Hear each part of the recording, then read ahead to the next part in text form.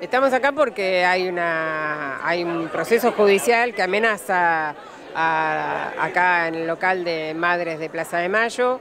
Eh, queremos proteger el archivo histórico que tienen las madres, que ha sido construido desde sus manos, con todo lo que los recortes de periódicos de todos estos años, más un montón de cuestiones que fueron conformando este archivo y queremos preservarlo. Es un archivo del pueblo, es un archivo de las madres. Mientras eran desaparecidos, mientras eran este, secuestrados, escribían sus cartitas que hacían llegar a sus madres, las visitas de las madres a todo el mundo denunciando y las recorridas por el mundo denunciando lo que pasaba en la Argentina, las visitas que ellas recibieron y después la lucha para que todos los milicos genocidas estuvieran en la cárcel, digo, del 83 para acá y siguen peleando todos los días por eso. y, el testimonio eh, de eso está en los archivos de la madre, digitalizados este, como, archivos históricos, y han intervenido gente especialista en el tema, que han venido de otra parte del mundo, pero también de la Argentina.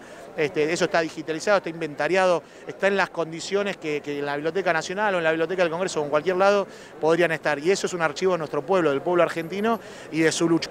Y estoy acá porque me parece eh, que esta es una avanzada más en contra de las madres, en contra de lo que sintetizan las madres.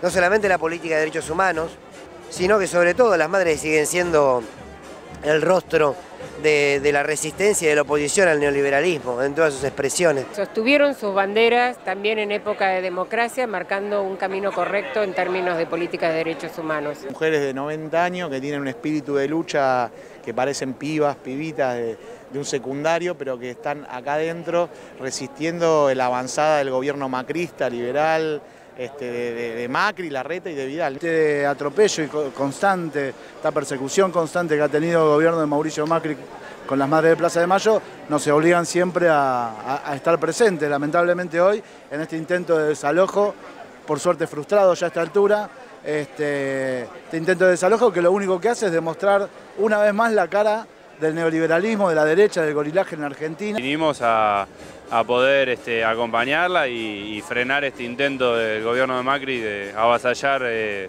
uno de los valores que tiene nuestra sociedad. Hay una legitimidad que le da gran parte de la sociedad a los organismos de derechos humanos. Las madres han sido históricamente un lugar donde uno debía mirarse siempre y debe mirarse para para saber dónde hay que estar.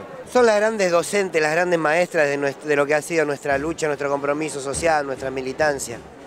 Las madres son, son la reivindicación de las convicciones siempre, en cualquier coyuntura. Y hoy más que nunca son el faro que tenemos en esta nueva pelea que estamos dando contra el neoliberalismo, contra el macrismo.